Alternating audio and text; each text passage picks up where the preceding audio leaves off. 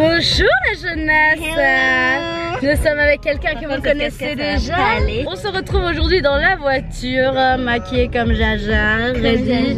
Winnie avec mon ancien t-shirt. Oui, oui, oui. Et oui, Beaucoup de couleurs. beaucoup de couleurs. Voilà, yeah. Aujourd'hui on part en festival On est chargés comme des porcs et il y a encore deux personnes qui doivent venir dans la voiture. On ne sait pas comment gérer tout ça. Il y a deux voitures qui partent et l'autre voiture est aussi bourrée et on sait pas comment on va faire ça. Ça va être la merde. On est à la bourre en plus. On doit aller acheter des trucs donc on sera encore plus à la bourre. Oui. Mais on va y arriver. On va gérer. On va gérer. Le problème avec Vestiville, c'est que chaque jour, il y a des gens dingues. Du coup, vous l'avez compris, nous allons à Vestiville. Donc, euh, on part. À tout de suite.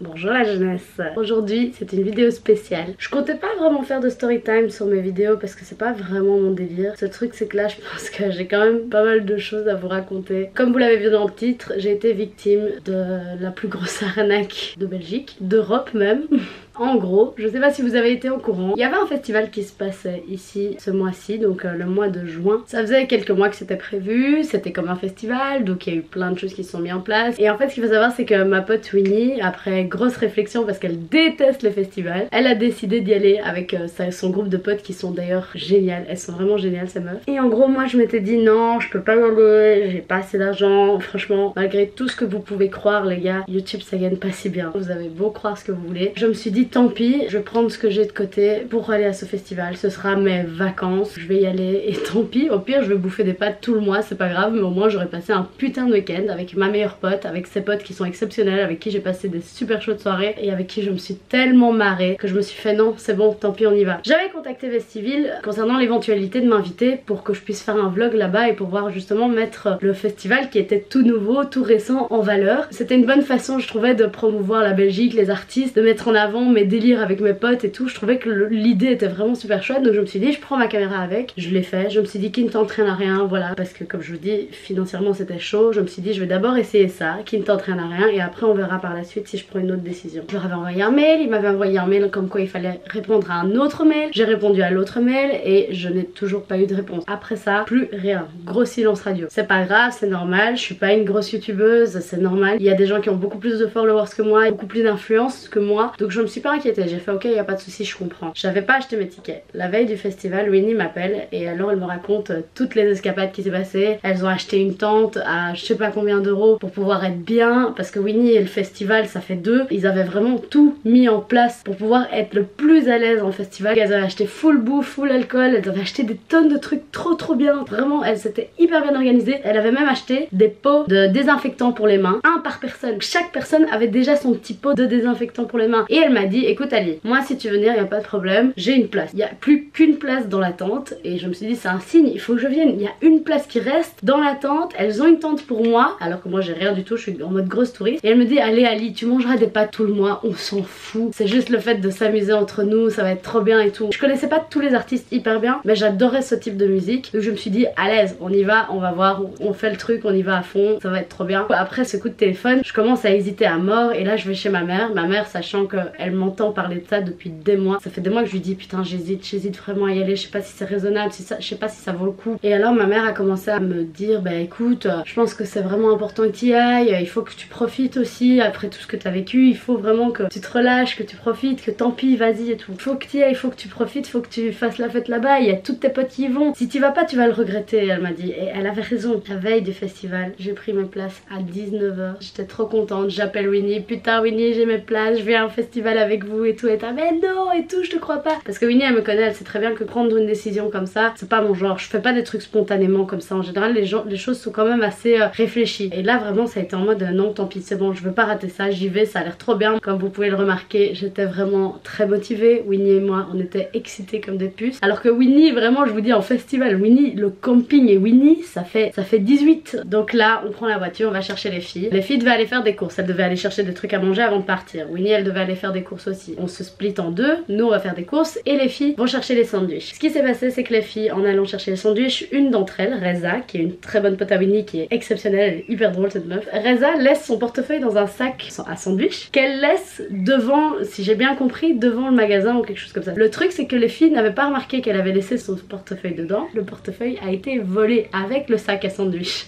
Donc il y avait plus de sandwich, il y avait plus de portefeuille. Reza nous appelle parce que nous on n'était pas avec eux. Oui les filles, euh, j'ai paumé mon portefeuille, qu'est-ce que je fais et tout. On était la merde, putain, pour rentrer dans le festival, il y a besoin des cartes d'identité, comment on va faire, c'est la merde et tout. Elle fait, euh, ok, je vais à la banque, je vais stopper ma carte et je reviens. Un des gars du magasin, je sais plus si c'était le magasin de sandwich, je sais pas quoi, mais en tout cas il y a un des gars du magasin qui dit aux filles, on va regarder les vidéosurveillance devant l'entrée, si j'ai bien compris. Elles ont vu la personne qui l'ont volé. Elle sort du magasin, qui elle voit? Le gars qui a volé le paquet de sandwich. Alors elle nous disait, j'osais pas trop être méchante avec lui parce que tu sais pas comment les gens sont, comment ils peuvent réagir. Ça tombe, il a un couteau, il peut me planter et voilà, c'est bon, il se casse. Donc elle fait ok, elle fait monsieur, excusez-moi, mais on vous a vu voler mon portefeuille, donc s'il vous plaît, veuillez me le rendre. Cette anecdote est quand même importante. Et le gars, qu'est-ce qu'il fait? Il fait oh oui, oui, oui, attendez, je vais vous rendre et tout. Il lui rend sa carte comme ça, non, normal. On fait quoi? Mais c'est quoi ce bordel? Le gars, il l'ose quoi. Moi j'aurais été là, mais non, jamais j'ai volé. Enfin, je sais pas, enfin, déjà, je suis pas, je vole pas. Comment t'assumes en plus, tu vois? Et puis elle fait ouais, mais il y avait 20 euros dans mon portefeuille, donc j'aimerais bien récupérer mes 20 euros aussi. Ah oui, oui, oui, oui, attendez, attendez. Et là, il y a sa derrière, il fait ouais, t'as pas les 20 euros et tout. Et en gros, ils ont essayé de gratter pour lui donner plutôt 15 euros que 20 euros. J'ai pas trop compris pourquoi, mais bon, bref. Et la meuf, elle fait, mais les gars, écoutez, il y avait un portefeuille avec ça, donc j'aimerais bien en fait juste récupérer mon portefeuille avec l'ensemble des choses qu'il y avait dedans. Le mec, il fait, ah non, non, j'avais que ça, j'avais que ça. Et alors, il monte toutes ses cartes, et puis elle fait, mais attendez, mais cette carte là, elle est à moi, c'était une bête carte du truc de sandwich. Et il fait, ah oui, N'importe quoi, le mec fait n'importe quoi. La meuf, elle a été très intelligente, elle avait pas laissé sa carte d'identité dans son portefeuille exprès en se disant, je vais en festival, j'ai peur de la perdre, et c'est le genre de personne qui a tendance à souvent perdre ses affaires. On a tous un ami comme ça, c'est normal. Les choses se mettent plus ou moins dans l'ordre, on se dit juste, bon, Reza a besoin de sa carte d'identité, on va aller la chercher chez elle. Donc on prend Reza, on va chercher la carte d'identité chez elle. Les gars, Winnie est venue me chercher à midi. On a été faire des courses, on n'était pas très loin de chez moi. On est parti à finalement 16h. On prend la route et tout, on se dit bon tant pis, on sera là à 18h. Le festival commençait à 16h. Donc on s'est dit c'est pas grave, les deux premières heures on va les rater. En général, en début de festival, t'as pas les meilleurs artistes de dingue qui te plaisent de ouf. Donc c'est pas très grave. Puis vient le moment où je dois trop pisser. Vient le moment où je ne peux plus me retenir. Donc là il est 18h30, un truc comme ça. Où là je dis aux filles, les filles, il faut s'arrêter maintenant sinon ça va pas aller. On était à 30 minutes de l'arrivée. Vraiment c'était quand même assez loin et en plus de ça on a eu beaucoup de bouchons. Bon, ben, on va s'arrêter dans une pompe à essence pour que je puisse aller uriner. Je sors, je pars avec Nicole, donc une autre pote dans la voiture. On rejoint mes potes après qui étaient en train de nous attendre dans la voiture. On arrive et là il y a Winnie qui me fait meuf la blague. Tu ne me croiras jamais. Je fais quoi? Festival annulé. Pardon? Et là je lui dis non meuf arrête ta blague je te crois juste même pas. Tu vois je me suis dit le temps que je vais pisser elles sont à deux elles peuvent causer entre elles. D'office elles vont faire un plan comme ça. Donc moi j'arrive je fais je te crois pas meuf je te crois pas. Elle me dit meuf il y a une de mes potes qui est avec un des DJ là-bas qui était invité là-bas Qui nous dit que c'est annulé que les gens attendent. Les gens ont attendu de midi à 18h pour qu'on leur dise que le festival était annulé. Donc en gros les gens pouvaient arriver à midi, prendre leur tente, la déposer. Je sais pas si vous avez déjà fait un festival, mais moi je me suis mis à leur place parce que nous heureusement qu'on était en retard avec tout ce qui nous était arrivé. Mais si on était arrivé à midi les gars, ça voulait dire que notre tente était déjà plantée. On aurait planté notre tente sous le soleil qu'on a en ce moment les gars. Je sais pas si vous sentez cette chaleur mais enfin mon front lui, hein, vous le voyez. On serait arrivé et on aurait entendu de midi à 18h alors que le festival commençait à 16h mais au début on nous disait qu'ils étaient en retard blablabla bla. On aurait été devant l'entrée à attendre comme des cons comme tout le monde parce qu'il y a des tonnes de personnes qui ont attendu comme des cons devant l'entrée pour qu'on leur dise deux heures plus tard festival annulé. Non mais les gars, vous voulez pas au moins le dire peut-être le jeudi avant que tout ça n'arrive? Ils ont dit festival annulé parce que manque de sécurité. Ils avaient discuté avec Asap Rocky qui était prévu pour le festival. Pour le festival, il y avait des artistes de fou. Hein. D'ailleurs, putain, je me perds dans les idées les gars, je suis trop nulle pour raconter des histoires. Pendant tout un temps, on a, on a quand même un peu douté parce que c'était trop gros en fait. Il y avait vraiment des gros artistes qui venaient, il y avait Cardi B, il y avait Asap Rocky, il y avait Trey il y avait à la base Taiga qui a finalement annulé et on nous a rien dit puis il y a eu Jason Derulo, Sauti aussi, il y a eu Afrobi, il y avait que des putains d'artistes de fou. Il y avait même Maître Gims. Bon après je suis pas une grande fan de Maître Gims, mais il était aussi invité. Et c'est quand même un gros artiste, on le sait. Au début on se disait c'est quand même gros, mais on se dit ça peut être possible. Ils peuvent tous passer le message entre eux, se dire à l'aise, on y va tous ensemble, je sais pas, peut-être qu'ils s'entendent tous bien entre eux, que ça y est, gros soir. Je sais pas, moi je pensais tout n'importe quoi. Pour être sûr qu'ils allaient venir, parce que nous on se disait peut-être qu'il y a plein d'artistes qui seront annulés, il y aura quand même le festival, mais il y a plein d'artistes qui seront annulés. Donc on s'était dit on va aller voir sur internet pour être sûr que les agendas des artistes soient vraiment confirmés. Et effectivement, Cardi B était marqué Cardi B, et dans son agenda, effectivement, il était marqué en gros, dès que tu notes Cardi B sur Google, il était marqué Vestiville. Pareil pour tous les autres artistes, on a vraiment bien bien vérifié tout ça. Mais non, festival annulé les gars. Moi et mes potes on dit quoi? On fait ok, on prend la voiture, et on va voir. J'ai même appelé ma mère. ma mère me dit vas-y, je fais t'es sûre? Parce que bon là on va aller dans un endroit où il n'y a plus personne. Tous les organisateurs se sont barrés et il n'y a plus que des gens qui sont là qui ont attendu depuis midi, qui ont certainement bu, qui sont déçus et qui sont tous ensemble. Qu'est-ce qu'on va faire nous là-bas? Ça va être la, la, décadence, ça va partir en couille. Ma mère me dit non, vas-y, va voir, si tu sens que ça pue, vous partez. Bonne idée, on va quand même voir. On arrive les gars on voit toutes ces pauvres personnes. Il y avait des meufs, les gars, il y avait des meufs. C'était un festival hip-hop. Donc il y avait des meufs qui avaient un style de fou. J'avais l'impression de voir des Aya Nakamura partout, les gars. Les meufs, elles avaient un style de fou. Il y avait même une meuf. Je me suis dit, la meuf, hein. elle avait un, des barésies avec un string. Mais genre, on voyait toutes ses fesses. Et je me disais, mais la meuf, elle, elle est on flic pour la journée. Elle est prête. Tout le monde s'était fait canon pour cet événement. C'était l'événement de l'année. Il devait y avoir des masseuses. Il devait y avoir des tonnes de marques présentes sur le lieu. Les gars, comment vous dire? On est arrivé là-bas. Déjà, on entre. Tout, tout ce que je vous raconte est important. On entre par une entrée. Pourquoi on a réussi à rentrer? Parce qu'à la base, il y a un mec de la sécurité. Donc, il restait quelques mecs de sécurité qui nous fait Bon, vous pouvez rentrer. Mais euh, bon, voilà. Genre, il commence à chipoter. Nous, on était Attends, quoi? On a payé 250 boules notre billet. Et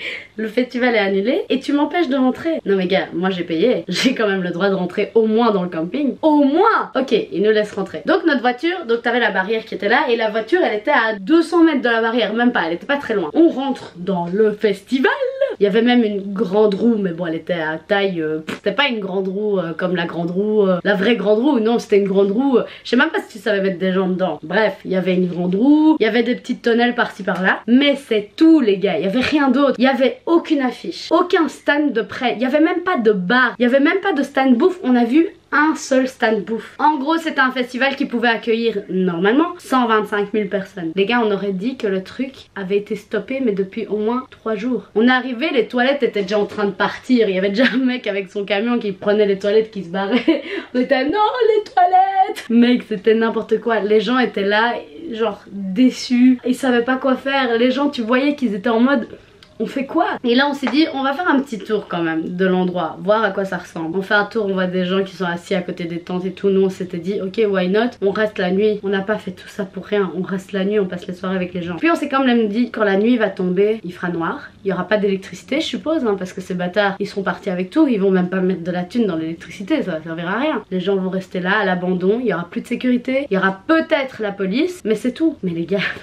moi j'ai pas envie de finir avec des coups et blessures à cause d'un festival qui a été mal Non, non. Vient le moment où on se dit on va sortir. Et Winnie était déjà dehors avec d'autres potes. Je l'appelle et je lui dis qu'est-ce qu'on fait? Elle me dit bah écoute, j'ai croisé des mecs sur le festival qui nous ont proposé de venir dans les villas que le festival vendait. Parce que le festival donnait à disposition des villas. Des villas. Je crois à tout casser, j'ai vu 5 mecs de la sécurité dans ce festival. Vient le moment où je me dis on va sortir. Bah on se dit on va ressortir par la porte où on est rentré. Comme ça on est près de la voiture. Non, là il y a un gars devant nous qui fait non non c'est fini. Le gars aucun t-shirt rien. Il avait juste un t-shirt noir, rien.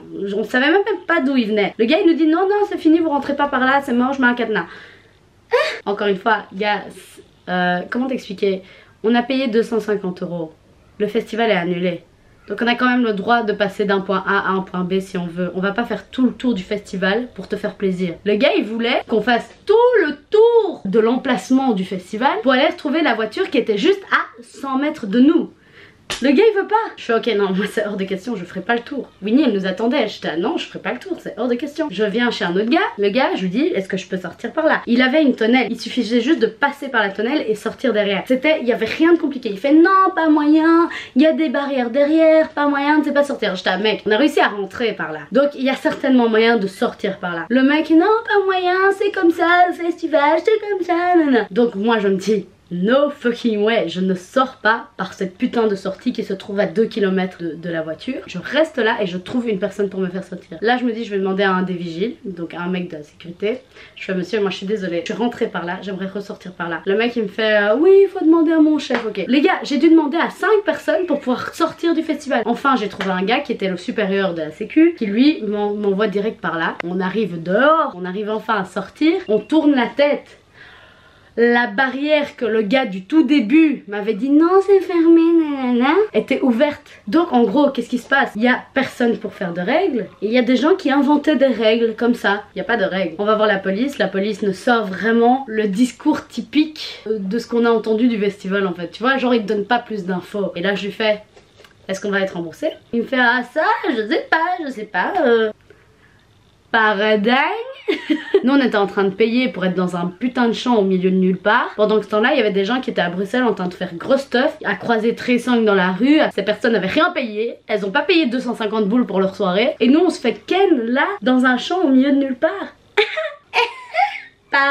Et il faut savoir aussi les gars que pendant qu'on faisait notre petit tour, on a rencontré des gens, on a discuté avec eux. Il y avait des mecs qui venaient d'Australie, des mecs qui venaient d'Israël, il y avait des mecs qui venaient des States, il y avait des mecs qui venaient d'Angleterre, des meufs qui venaient de Paris, les pauvres, elles étaient on flic aussi. Pas moyen les gars, pas moyen, c'est quoi ça? Comment oses-tu faire ça? Surtout qu'en plus, ils auraient pu annuler la veille et à la limite on aurait été là, oh quelle bande de bâtards, nanana. Non, ils annulent alors qu'ils sont déjà en retard. Moi je me dis, il y a encore des mecs qui sont encore dans le camping, il y a encore des gens qui restent, qui font laisse tomber, moi j'ai payé pour ça, je reste. Il y a des gens qui viennent d'ailleurs donc ils peuvent pas aller ailleurs. Déjà qu'ils ont dépensé suffisamment de thunes pour être là, est-ce qu'ils vont encore dépenser de la thune pour aller payer un hôtel ailleurs en Belgique? Ce qui s'est passé donc par la suite, donc je vous ai parlé de la villa, on fait à l'aise, c'est quoi? On n'a plus rien à perdre, on a déjà perdu 250 balles. On va y aller, on va voir. On arrive déjà à l'entrée du truc. On voit un mec à l'entrée qui gère la barrière. Ouais, euh, vous allez à quelle villa On est à merde, si ça tombe, il faut avoir une carte, faut avoir une clé ou quoi. On lui dit, bah on va au 700, je sais plus, je sais plus où c'était. Le gars il nous fait, allez, il ouvre la barrière, on Putain, on a eu peur En plus de ça, les gars, je pense que la vie, elle est quand même avec nous pour certaines choses. Sur le chemin pour aller vers ce parc avec les villas, on a vu des mecs qui ont fait un accident, mais un accident tellement grave, les gars. Les filles nous suivaient, il y avait donc deux voitures. Et après, quand les filles nous suivaient, elles ont pas vu l'accident. Donc c'est bien la preuve que ça s'est passé super vite. Et on s'est dit, mais putain, heureusement que les filles ont traîné à blablater avant de rentrer dans la voiture, parce que peut-être qu'on aurait été dans l'accident aussi. Ça aussi, c'est abusé. Les gens, ils attendaient depuis midi dans le festival. Mais qu'est-ce qu'ils ont fait en attendant? Ils ont bu, parce qu'ils se sont dit à l'aise, je vais dormir là de toute façon. Mais comme le festival a été annulé et que peut-être certaines personnes n'avaient pas envie de rester la nuit avec des gens furieux et en alcool et alcooliques, je pense qu'il y a des gens qui effectivement se sont dit tant pis, je suis un peu bourré mais je prends la voiture et j'y vais. Et c'est ultra dangereux. Je me dis il y a probablement des gens qui ont fait ça. Donc c'est encore pire de laisser des gens de midi à 18h sans bouffer en plus parce qu'il n'y avait pas de stand de bouffe. Laisser des gens comme ça c'est vraiment n'importe quoi. Ce qui s'est passé après, quand nous on est arrivé, ils ont ouvert un stand de bouffe et ils ont offert de la bouffe gratuite. Ok les gars, heureusement qu'il y a des gens gentils sur cette planète. Ces gens-là, ils ont rien à voir là-dedans, ils viennent juste pour euh, servir pour le, festival et ils offrent de la bouffe gratuite. Donc euh, merci les gars, merci euh, de nourrir ces pauvres gens qui sont là depuis midi. Vas-y, raconte-nous, qu'est-ce qui s'est passé? Je sais pas. C'est de la merde. Je sais, je sais. C'est de la merde. Ouais, je viens de Belgique. Ah ouais, mais c'est grave. Et...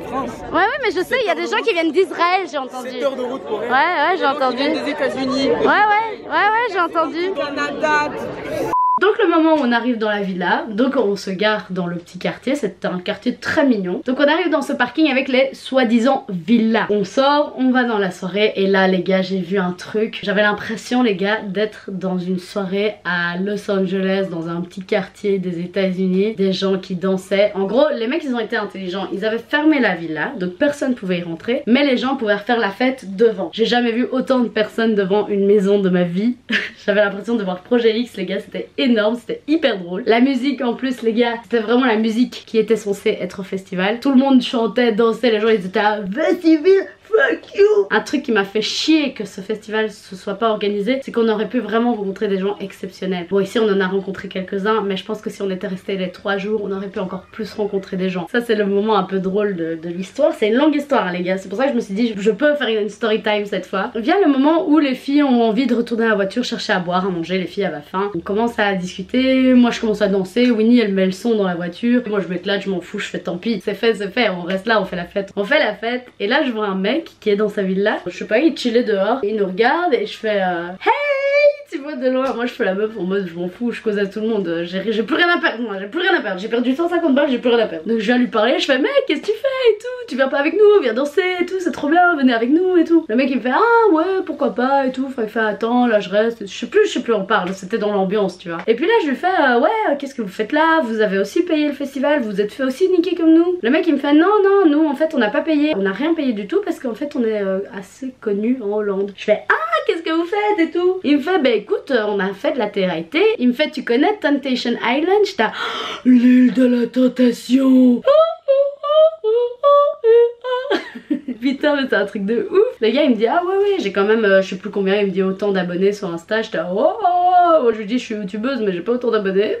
Il me fait, ouais, là, je suis avec mes potes, on va certainement sortir après, nana. Je fais, bah écoutez, si vous voulez venir, vous pouvez faire la fête avec nous et tout. Je fais, il fait à l'aise et tout, donc moi, je bouge. Je continue à faire soirée avec mes potes, on se marre trop, c'est trop chouette. Moi, je m'éclate, la musique trop bien et tout. Puis là, t'as les meufs de la villa dont j'étais qui, qui nous rejoignent et qui viennent danser et tout. Je fais, yeah, trop bien et tout. J'étais, ah ouais, je suis avec des meufs de télé-réalité, trop drôle. J'ai compris par la suite que c'était que le gars qui avait fait de la télé-réalité et pas elle, je crois. Je voulais pas approfondir là-dedans, j'avais pas envie de les refaire chier avec, leur, avec ce truc quoi. Je l'ai juste fait chier en disant, gars, je comprends vraiment pas pourquoi vous faites ça. Vous venez détruire votre couple comme ça. Il était à, ouais, bah je sais pas, j'avais envie. Je t'avais, ah, c'est quoi cette réponse? Non, mec, il faut avoir des, des- des raisons vraiment très valables pour y aller. Enfin, je sais pas, moi j'ai jamais compris. Bref, les meufs viennent danser avec nous et on commence à discuter. Les meufs elles viennent de Hollande. Je leur dis que j'ai vécu à Amsterdam. On rigole trop, on parle de plein de choses. J'adore parler en anglais en plus. Trop bien, super ambiance, les filles trop sympa et tout. Puis vient le moment, elles me font, euh, elle est où votre villa? Je fais ma villa Je, lui remonte la voiture, je fais, elle est là la villa. On va dormir dans la voiture cette nuit bébé. Et puis là elles me font, euh, oh non mais allez c'est bête et tout. Je dis, ah bah oui, bah, c'est le festival, hein, ils avaient qu'à pas faire de la merde. hein. Nous on va pas dormir dans le camping où on sait pas à quoi ça va ressembler pendant la nuit les gars. Et donc la meuf elle me fait, mais attends, en fait nous on a reçu deux villas. Et les personnes qui sont censées aller dans la villa, ils viennent que demain. Donc si vous voulez, cette nuit vous pouvez dormir là. Nous on était là, oh putain, trop bien et tout. Moi j'étais en mode trop chaude et tout. Puis il y avait mes potes qui, certaines d'entre elles étaient un peu parano, elles étaient là en mode ouais mais non laisse tomber, on va pas aller là-bas, on n'y croit pas, c'est pas safe et tout. Moi j'étais mec, on a une villa. Tu peux me dire merci, j'ai réussi à te dégoter une villa, mec, c'est trop bien. Et du coup bah finalement j'ai réussi à convaincre les filles parce qu'elles m'ont proposé plusieurs fois. Elles ont même été chercher les clés avant même que je leur dise ok. Elles ont fait attends meuf, on va chercher. Elle a été chercher les clés, elle me les a données, elle a fait tiens la villa c'est ce numéro là, tu y vas. Je fais ok. Les filles j'ai réussi enfin à les convaincre qu'il fallait qu'on y aille. On a été avec Fides donc une autre pote à Winnie parce que évidemment on était plein hein. Au final on s'est retrouvés à 10 les gars. Finalement bah avec Fides on a été checker la maison avant tout le monde pour bien montrer qu'il n'y a pas de problème blablabla. Les filles sont venues, on a enfin eu un lit. Une fois qu'on est arrivé dans cette villa, cette soi-disant villa, faut savoir que le prix de ces villas, je crois que c'était 1000 euros. Mais sur le site, je pense, dans mes souvenirs, c'était plus ou moins 1000, 1000, 1000 et des euros pour pouvoir avoir accès à cette villa. C'est-à-dire 1000 euros pour une villa euh, pendant 3-4 jours. C'est un peu cher, surtout quand on dit villa au bord de la plage, il disait. Il y avait bien 10 minutes de trajet de la villa au festival. Proximité, euh, pff, la soi-disant villa, c'était une petite maisonnette. Dans mes souvenirs, 3 chambres. Donc il y avait 6 places. Et alors t'avais les deux canapés. Donc ici, on a réussi à dormir à 10 dedans. Je ne sais pas comment on a réussi à faire ça.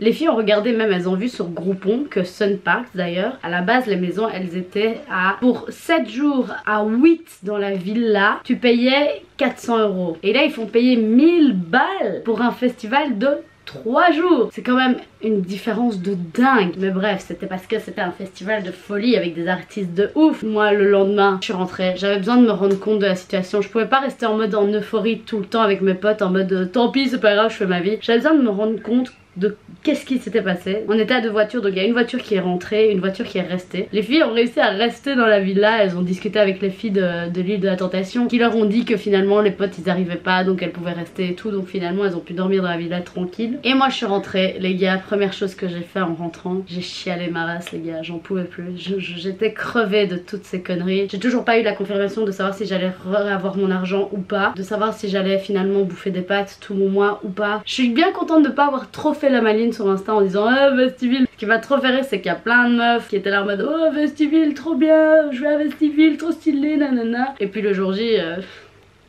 on n'entend plus parler Vous avez vu la gueule de mes cernes, je dors pas beaucoup, je suis pas très bien en ce moment. Je suis pas au top de ma forme pour l'instant. Ce truc là ça a été le coup de massue, mais vraiment ça m'a achevé. C'est con mais ça m'a achevé. Et c'est là que toutes les informations que je vous ai données auparavant sont importantes. Les filles qui ont acheté une tente, elles ont investi, alors que les meufs elles vont jamais au festival, elles s'en branlent de ça, elles détestent le camping. Non là elles ont investi pour ce festival là et ce sera le seul parce qu'elles sont dégoûtées maintenant. On avait full bouffe dans la voiture, qu'est-ce qu'on va faire de ça? On sait pas, et en plus c'est de la bouffe les gars, c'est des sandwichs mou dégueulasses que personne ne veut manger. Donc t'as pas envie de ramener ça chez toi. Étant donné que maintenant je vais être pauvre pendant un mois, je, crois que je vais leur demander de récupérer un peu.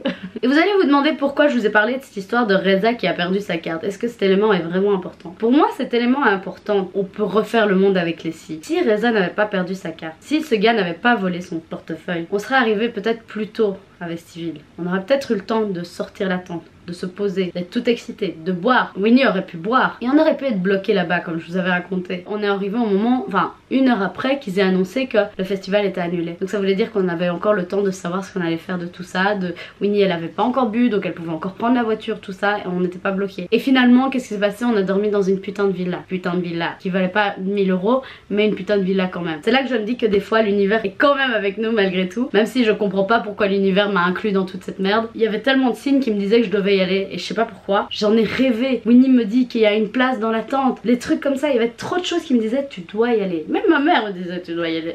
j'ai encore pas compris la leçon que je dois apprendre de tout ça. Mais en tout cas, j'ai compris que l'univers était quand même avec nous malgré tout. Et je me dis aussi on a eu de la chance parce qu'on venait pas d'Australie. On a eu de la chance parce qu'on venait pas d'Israël. On a eu de la chance parce qu'on venait pas des États-Unis. On a eu de la chance parce qu'on n'a pas pris une villa. On a eu de la chance parce qu'on n'a pas pris l'hôtel. Les circonstances ont fait qu'on a réussi à avoir un endroit où dormir heureusement, et un endroit plutôt potable, j'ai envie de dire. D'ailleurs, ce qui me fait aussi chier, c'est que par rapport à la Belgique, on a déjà une réputation de merde par rapport à tous les attentats qu'il y a eu, et pas seulement la Belgique, l'Europe. Il y a pas mal d'artistes qui voulaient plus retourner en Belgique à cause de ça. Ariana Grande a été victime de tout ça. Et maintenant, avec Vestiville, on peut dire adieu aux stars américaines pour venir faire un concert en Belgique. Laisse tomber, laisse tomber. On a tellement plus aucune dégaine, les gars. Je vous invite quand même, moi je l'ai pas encore fait, il faut absolument que je le fasse, à regarder le film Fire Festival, où là apparemment c'est un film sur Netflix, un film documentaire qui parle d'un festival qui s'est créé, qui a justement inclus beaucoup de gens, des influenceurs, des choses comme ça. Il y avait aussi des influenceuses qui étaient censées venir au festival. Fire Festival, c'est ce qui s'est passé, il y a eu exactement le même schéma. C'est là qu'on se dit, il y a une des similitudes. C'est pas parce qu'il y a autant de gens qui sont inclus dans un truc que tout ne peut pas s'écrouler. Et là, tout s'est écroulé. J'espère de tout mon cœur que je serai remboursée. On était tellement bad de savoir que tous les artistes étaient à Bruxelles en train de sortir dans les soirées les plus dingues et que nous on était là, au milieu d'un champ, au milieu de nulle part. T'as douillé pour ça, t'as douillé pour,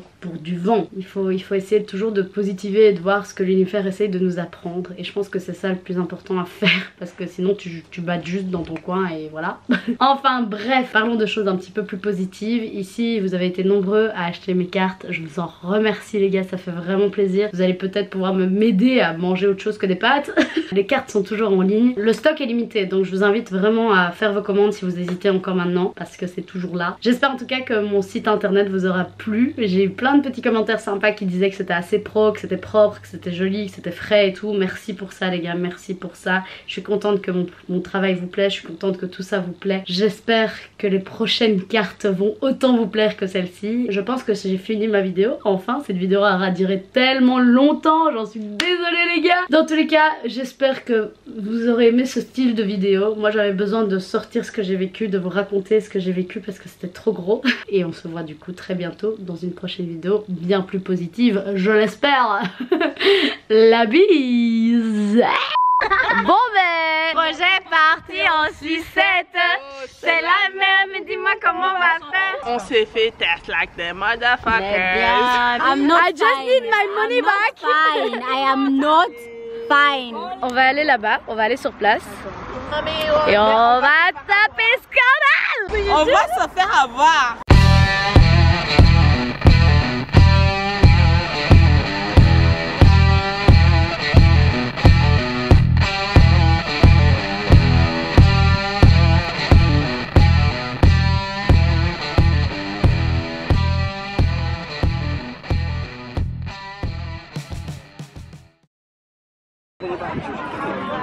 Plus rien.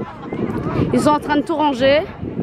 C'est n'importe quoi. J'ai perdu euh, 250 boules pour euh, juste euh, finir dans un champ avec des éoliennes et euh, rien. Il y a des meufs qui sont toutes pimpées, qui se sont faites toutes belles et on en est là. Merci les gars.